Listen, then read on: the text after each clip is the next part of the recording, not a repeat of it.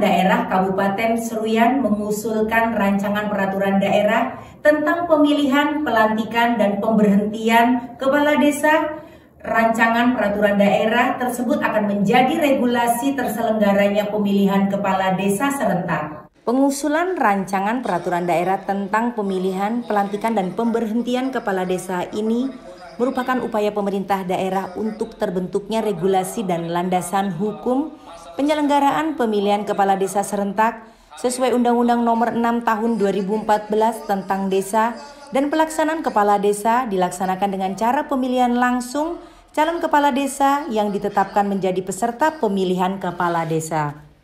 Sekretaris Daerah Kabupaten Seruyan Jainuddin Nor menyebutkan, sejak tahun 2016 hingga 2020 lalu, pemerintah daerah sudah melaksanakan pemilihan kepala desa secara bertahap dan memang dalam tiga tahun terakhir belum dapat dilaksanakan karena harus melakukan penyesuaian rancangan peraturan daerah.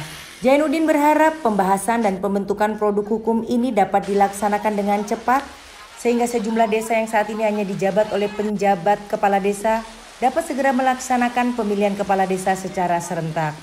Tujuan Raperda Kepala Desa tentunya kita menginginkan agar para kepala desa itu nantinya kita harapkan lebih berkualitas ketimbang yang ada kemudian sesuai dengan undang-undang bahwa itu dari masyarakat untuk masyarakat ya. Jadi memang harus dipilih secara langsung.